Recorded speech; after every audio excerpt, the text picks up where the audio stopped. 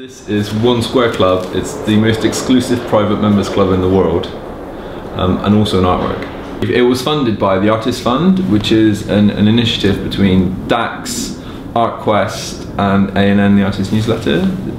Um, and they kind of threw out a brief, an open call for if you could create a work that's not necessarily conforming to how artists make money or how they, how people think they make money by making an artwork and selling it, can you come up with a different format or a different way, looking to explore a different way? That idea, and then also reading in the newspaper about, um, I was reading about property prices and how they're always fluctuating up and down, mostly going up, depending on where you are. Um, but also they change in like, like in space, so depending on where geographically you are. So they change in space and time. Mm. And then I was wondering like, if there could be a way of making an artwork that that's value changes in space and time as well. At the moment it's in my studio in Battersea, but it's built so it can travel anywhere around the world.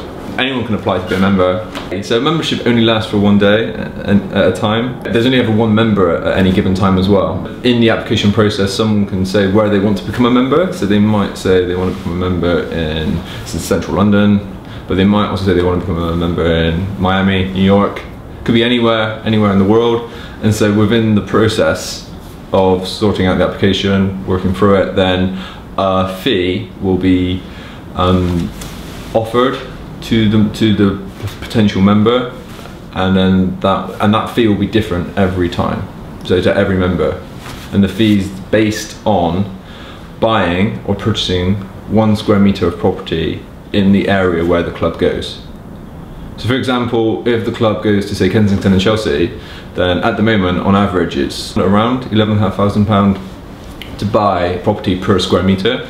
So a membership for a one day, for a member in Kensington and Chelsea would be looking at around £11,500. Inside it, um, so inside the club itself, it, it has um, it has uh, it has space to hang work, so it exhibits works. So it will build its own collection. It will commission artists to make work specifically for the club collection and so we'll build on a collection. We'll also have other temporary exhibitions inside the club. It, do, it, it does resist the, the what we've come to know as the standard uh, platform or approach to performance art. So a performance happens and then there's the trace, uh, be it the video or the photo or the text that then becomes the commodity to make, to make money from. Whereas this tries to resist that the work is itself when someone becomes a member and I'm in there and that's when the work happens.